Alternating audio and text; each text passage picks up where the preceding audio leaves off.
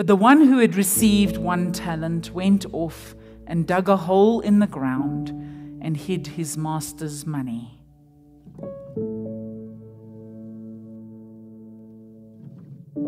The easy part of this particular parable would be simply to focus on the first two, for they receive these vast amounts of money and they are diligent with it. They go and they double what the master has given them. The master is delighted by the work they have done. And so he invites them to say, Well done, good and trustworthy slave, and invites them to enter his joy. I'm not exactly sure what the joy is that we are being called to enter into, but it sounds pretty good either way. But it is the third slave that just disturbs us. How do we reconcile a God who's blessed us abundantly, yet seems so harsh with this chap who didn't do anything with the talent he was given? David Lose, commenting on this particular parable, says this There are two ways to read this parable. You see, while I'm familiar with the dominant one, that our waiting for the Master's return should be purposeful and not idle, I was struck this time by the reaction of the third slave. And not just his reaction, but also his motivation. He is, as he himself confesses, is terrified of his master. He's terrified of his master. He believes his master to be harsh, aggressive in his dealings, if not even exploitative. David Lose goes on to say, We have no evidence at this point in the parable that the master is, in fact, this way. But the servant believes it and is subsequently afraid. And so he freezes. Fear will do that.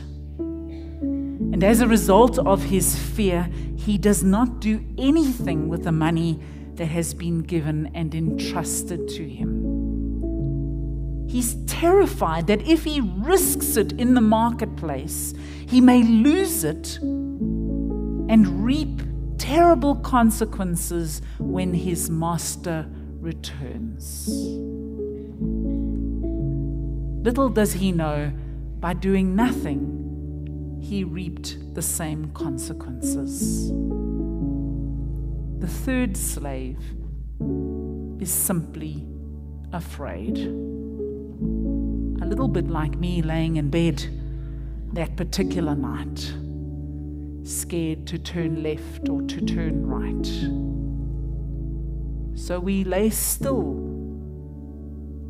incapacitated to do anything hoping simply that we will survive.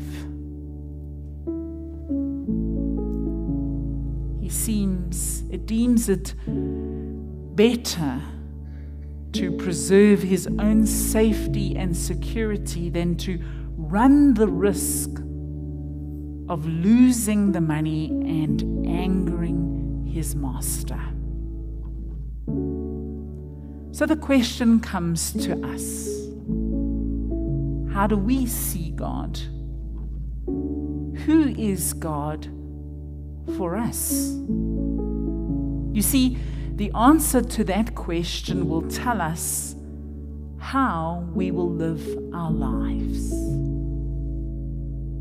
You see, if we fear God, afraid of judgment and damnation, scared to turn left or to turn right, we will do nothing. But if we understand that God encourages us in life's journey to take the responsibility, to take the risk, and to do something, even if it is a small something, in being obedient to His word. We will not live our lives afraid and incapacitated, but we'll be encouraged to try as it may to do something, anything. Jill Duffield, also commenting on this text, says, Fear engenders scarcity and self protection, not generosity and creativity. Fear makes us clamp down and look inwardly. It forces us to bury ourselves in the ground, attempting self preservation. But let's take a moment and talk about the perceived judgment of the master in this parable, because it stands that the third slave had every reason to be afraid that the master was harsh. Matt Skinner says this the parable works only when we accept its main premise that the stakes are sky high and our involvement is essential. You would be upset too if you discovered that an influential person was refusing to make a difference amidst a crisis. Wouldn't you? If there was somebody who simply said, I'm afraid to get involved, but I could make a difference. So the master is upset that the servant had potential to do something good and didn't. Instead, he buried his potential, and therefore the world and consequently other people were perhaps poorer because of it. Friends, for us today, the stakes are sky high. And yes, we have been implored to participate in the healing of the world. Not in order to be granted salvation, because that is simply granted to us by faith alone, but rather Jesus' call for us to be the light of the world, to do good where there is evil, to bring hope where there's disillusionment and cynicism, and to love and care for all those whom the Lord loves. Friends, we have to make a choice about how we're going to live our lives. Because if we choose to live it in fear, whether it's of God or fear of ourselves, fear will incapacitate us and force us to bury ourselves in the opportunities that are before us.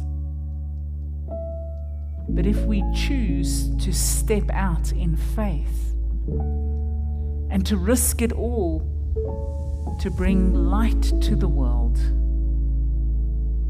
we will be invited into the joy of the Master. Finally, I end with these words. As Gandalf says in The Hobbit, I have found that it is the small everyday deeds of ordinary folk that keeps the darkness at bay. It is our small acts of kindness that double in portion. And how wonderful is that? Thanks be to God. Amen.